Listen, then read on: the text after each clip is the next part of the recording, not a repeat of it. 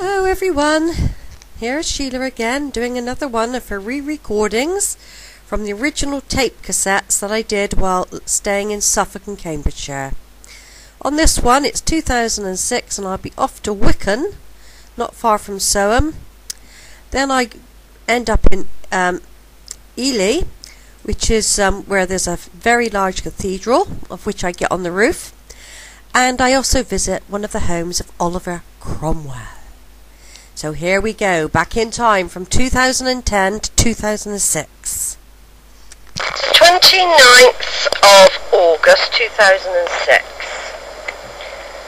and I'm going out on one of my field trips. I'm actually going to go to Burwell first because they've got a museum there. So I thought I'd have a look round that and then I'm going to pot around um, a couple of villages um, to do some um, grave hunting. Right, well I got to Burwell where you can park to go to the museum and it's only open on Thursdays, Sundays and bank holidays. So I couldn't go, I couldn't do that. But so I've come to Wicken, which is on the outskirts of Soham. While I was parked at the museum, I spoke to Georgia, who gave me some sad news of the death of um,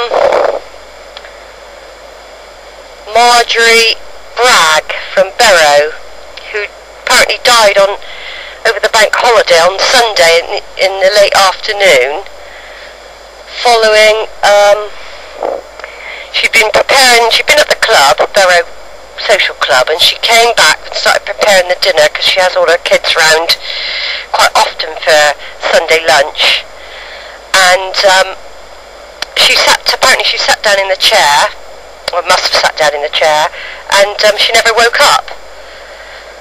Um, so that's quite a sad event because I've known Marge for nearly uh, 19 or 20 years. She's in her early 60s, and she worked in the social club behind the bar. Um, she did smoke and like the odd drink as well, but she was quite, you know, it's a bit of a shock. Um, I know her children, Pete Bragg, Johnny Bragg, and um, one of the other Braggs um, who uh, who's friends with the kids. Robert Bragg, yeah, that's right. And so it was, it's a bit of a shock, really, um, from that point of view. So you never know when it's going to happen, do you? Anyway, I'm at Wicken and I'm going to do um, a grave search. the tape might sound funny in a minute because I'm going over to the other speed. There you go, on the speed now. Take it out of the van. I've backed up near the church. There's a, in memory of Benjamin Barber, A-R-B-E-R, who died January 8, 1870, age 60. Also Elizabeth, his wife, who died June the sixth, eighteen.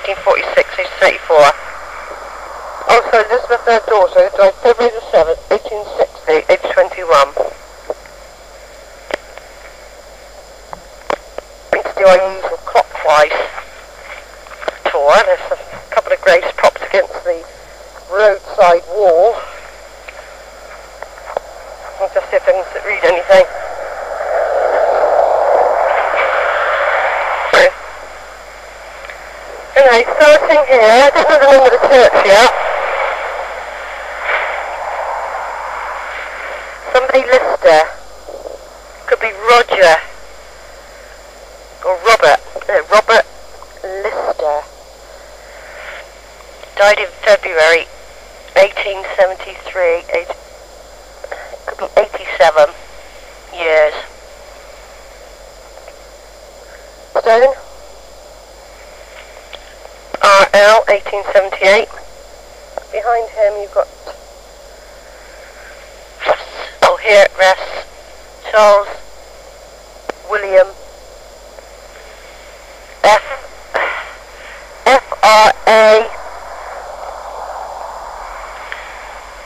F.R.A. Looks like N. O-R-E-N. Whatever that died in 1880, born 1707. Yeah, that can't be right, 1797. Behind him, you've got a grave of, in memory of,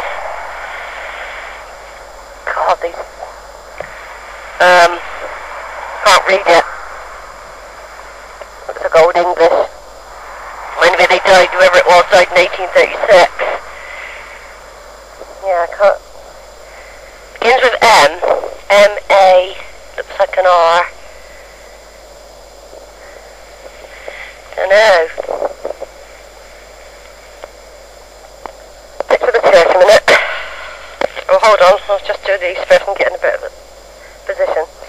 Got Alice, beloved wife of somebody. Oh, it's hard to read again. Something man or ham.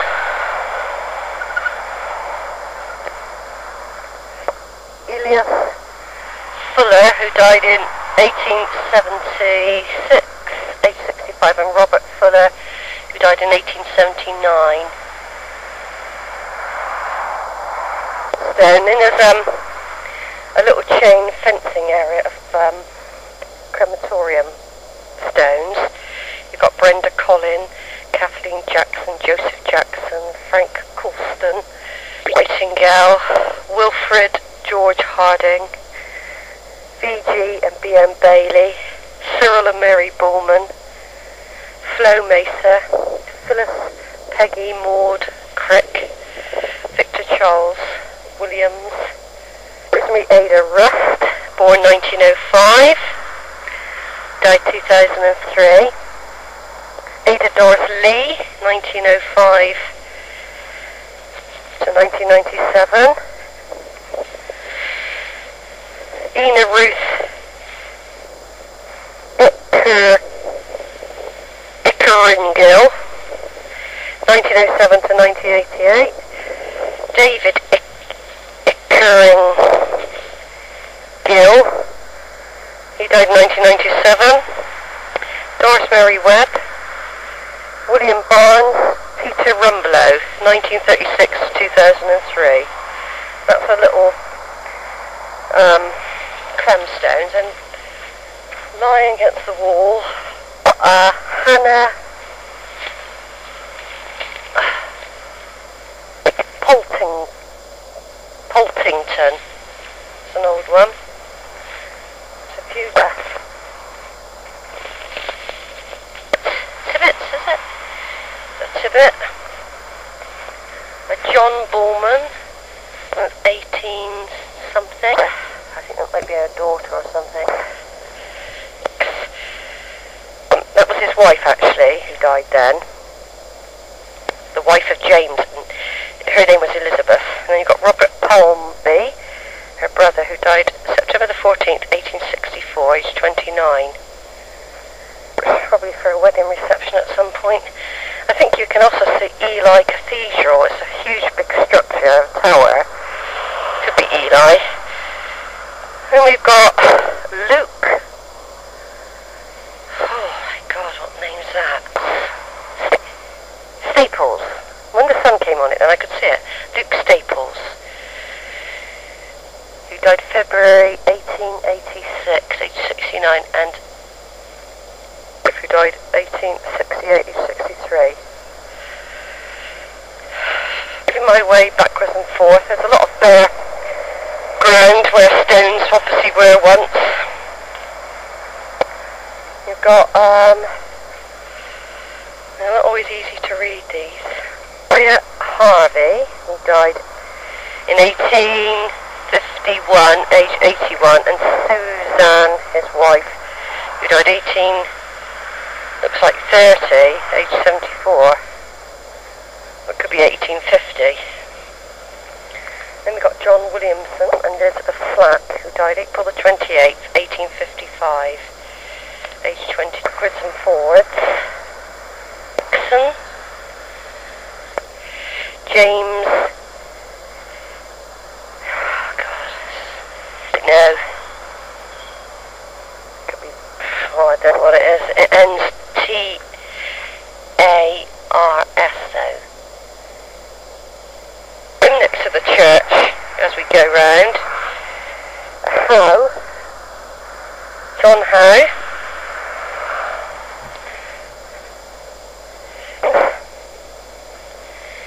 Somebody Rowell Rowell R O W E what the hell Sarah died in 1833 1863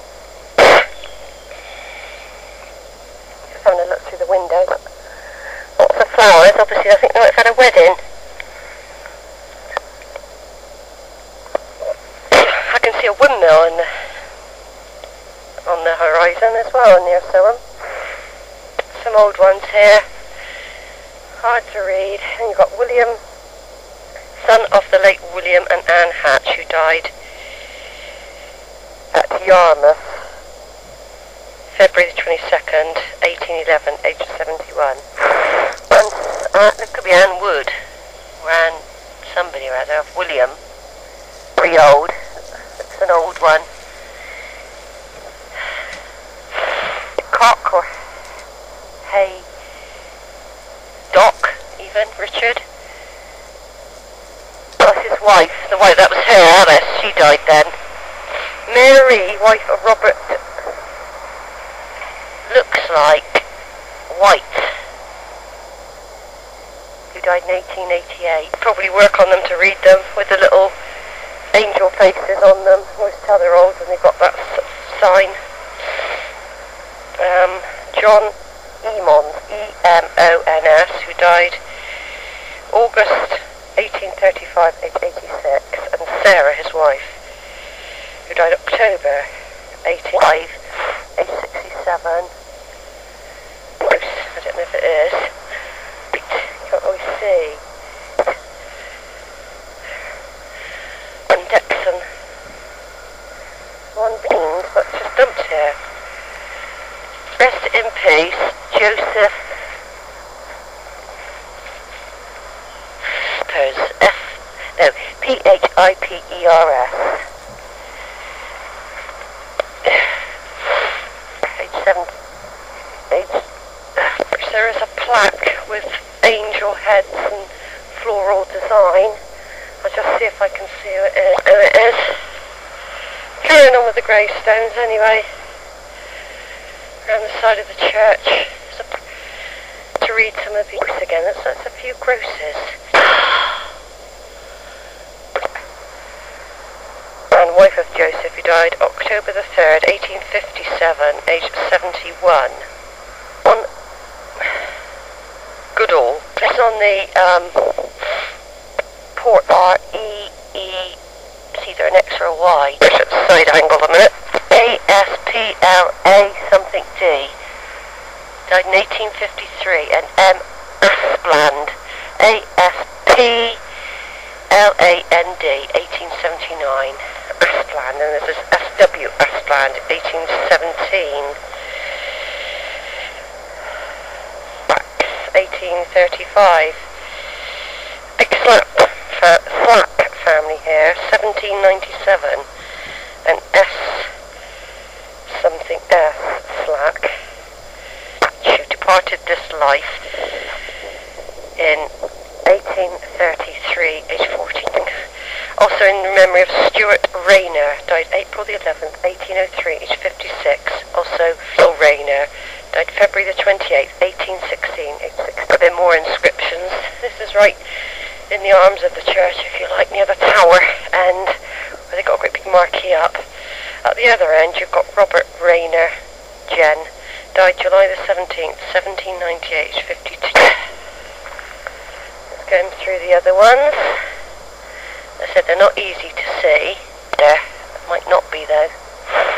Wait a minute. In memory of Mary, wife of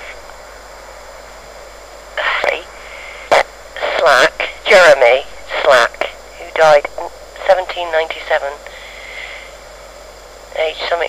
Their son who died in his infancy. Not mule. and Sarah Susan, daughter of John and Elizabeth Slack, who died the 10th of June 1840. Jeremy Slack, who died in 18, what it says, um, was in LA as of 1798.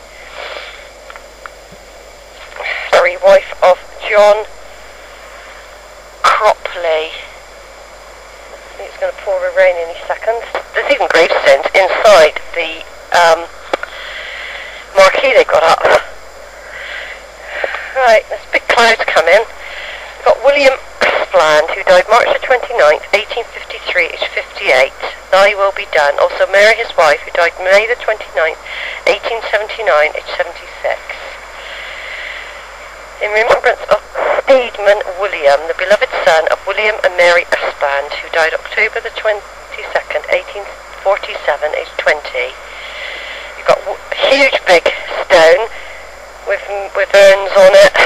Um, William Aspland, who died October 1846, aged 93. And Martha, beloved wife of William Aspland, who died 1837 in her 67th year. Been on a minute under the big tree. James Dennis, who departed this life 16th of March 1855, aged 72. Isaac Aspland, who died March the 30th, 1875, aged 75. There's a lot of them here. Of footstones all broken up at the back here. Um, like big slabs of a monument maybe once. Another Isaac Aspland, who died in 1813, aged 39. Sophia, the wife of Isaac. Then you've got somebody else who's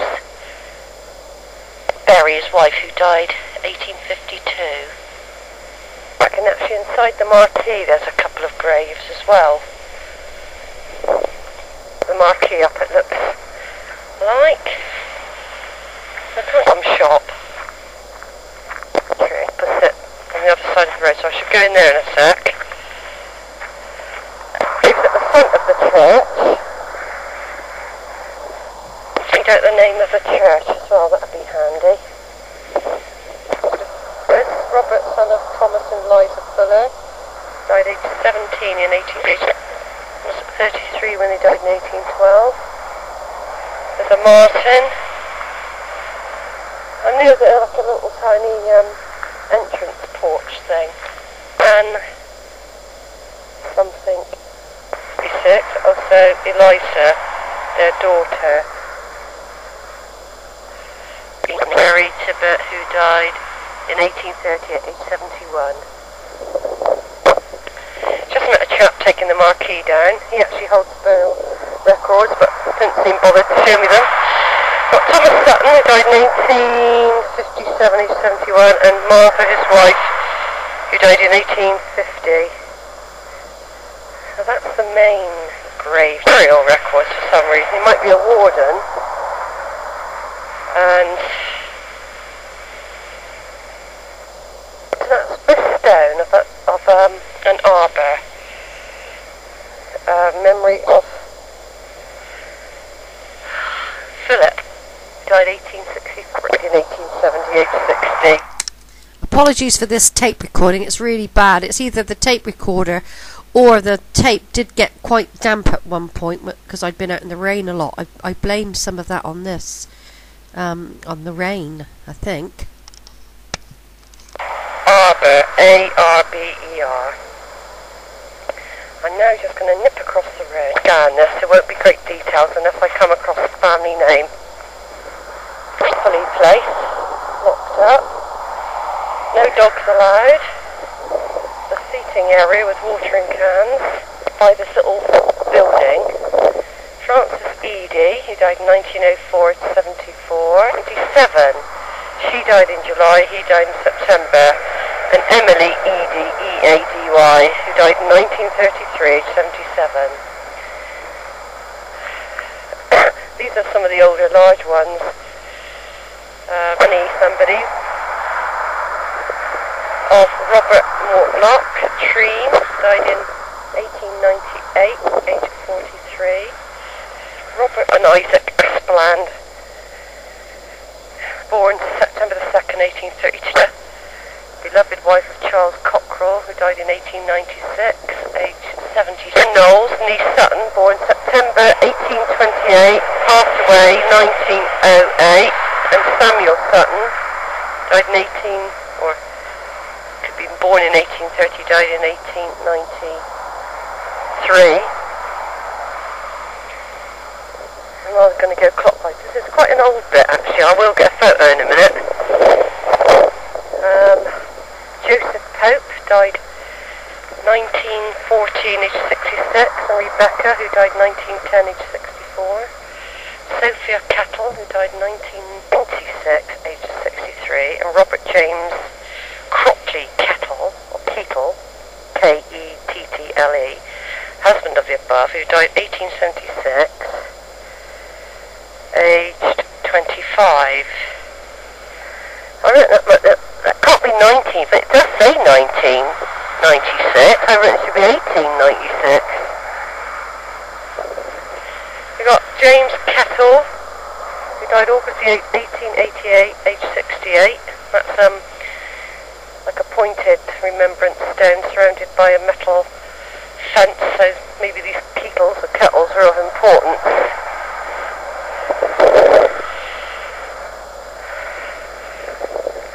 Right, I'm now going to walk round the graveyard. Um, you've got Robert John Canham, son of John and Anne Canham, C-A-N-H-A-M, who died 1901, age 17. Then we've got Sophia, beloved daughter of John and Anne Sargent, who died 1918, aged 28. And footstones and metal crosses propped against the wall. Sir Mark, or Mary, beloved wife of Henry Bailey. He died in 1916, age 67. Mary, wife of Robert somebody Taylor, Elliot Taylor. In 1952, age 64. A very overgrown one. Uh, beloved wife of John Bailey, who passed away. Then we got William Bishop, who died 1923. St. Muriel, age 74, when she died in 1925. Great Anne, wife of Glen Elizabeth, their daughter, who died July the 17th, 1890. again. Right, I'm going to do just scanning now. But all these graves are in really good order. Got William Bishop, died in 1903. Phoebe, Charles, wife of Charles Fuller, died in 1902, age 79. Another James Dennis died in 1999, aged 78, and his wife Sarah died in 1902, aged 77. King, Elizabeth Dockin died in, um, born in 1821, died in 1903. Wait, age 56, also five of their children are buried here. William Ollie Green died 1898-76, and Mary's wife died 1900 something, age 84. Down, looking dodgy the weather. Um, we've got Elizabeth, wife of Henry Bailey, William Murphy, 1902, age 89. Um, age 30. Fuller Houghton, Horton, H-O-U-G-H-T-O-N, died 1900, age 62. Postman to Wicken for 29 years. Bird, she died in it 1951, age 24. That was a metal um, saying propped up against the wall now. And Mary Marshall, she was 74 and she died in 1939. William Wright died in 1934, age 37. Anne, wife of Samuel Hall, she died 1889, age 58. And Frederick Samuels, H-A-W-E-S. Robert King, who died 1891, age 66. Also Eliza, his wife, who died 1907, age 70. R-E-D-I-T, who died in 1921 now. I might just do names. There's Day, Bailey, Taylor. I'm not going to do all the new ones, It's weird. Every now and again, it sounds like I'm doing another tape. So I keep butting in with bits and pieces. It's very strange. I might have to try this out on the other tape recorder later. Ken.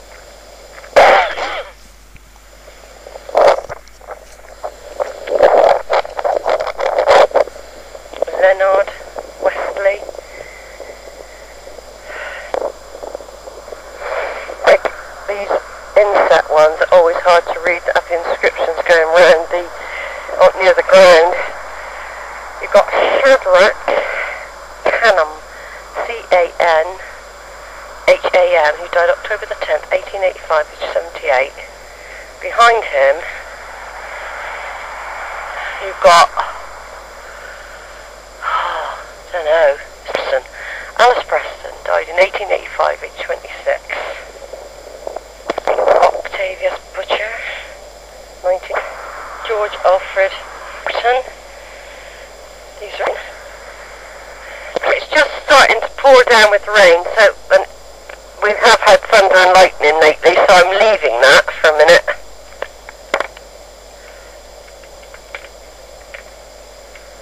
A big graveyard. Um, maybe people get buried from elsewhere, I don't know, but it's quite big. And I'm not sure what that, could, if that is Eli I can see from here. I'm going to have a look on the map in a minute. I might not be able to do it all today. I'm just thinking the weather. It's too dodgy after yesterday's thunder. National Burial Index. I suspect I can look up a lot of these graves now, but it's no, it's not the same as actually finding your own gravestone, which is part of the search. You know, gravestones that belong to the ancestors. I mean, risk it and go to Ely Cathedral. I think I do at some point go back to that Wicken. It might be on another tape, but it was very poor.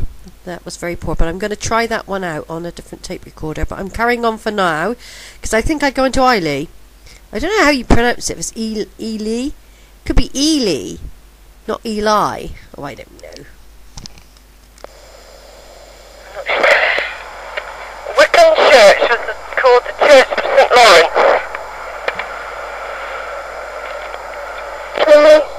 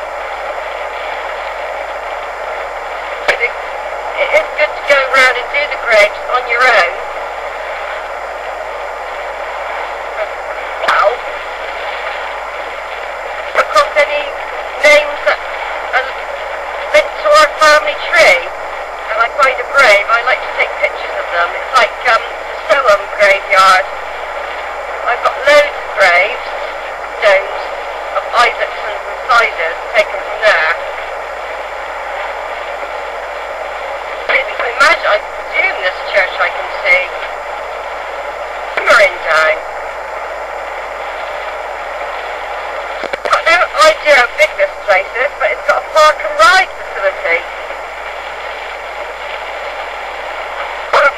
Parks for Ely, historic attractions follow.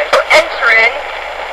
I don't know if it's a city, it could be a city I suppose, but I'll be able to park easier. I'm just going to hang on here for a minute. It's free parking. I think I'll have a wee. I'm going to pull my curtains.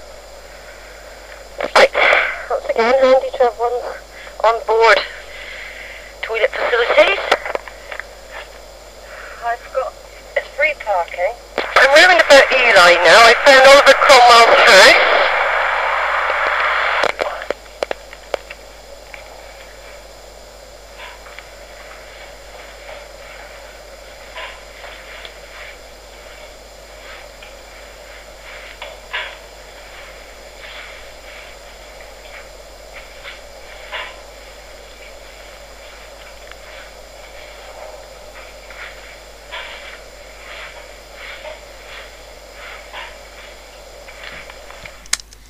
During this part of the tape recording, I am going around inside Oliver Cromwell's house.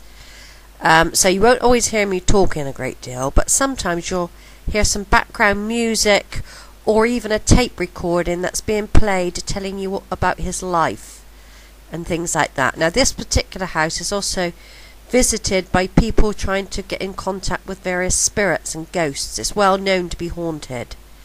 And at one point, I do enter the chamber of Oliver Cromwell's bedroom where he was supposed to have passed away. And they've got an actual model of him in the bed, and I took a photograph of that. Anyway, back to the tape recording. I hope it doesn't play up too much.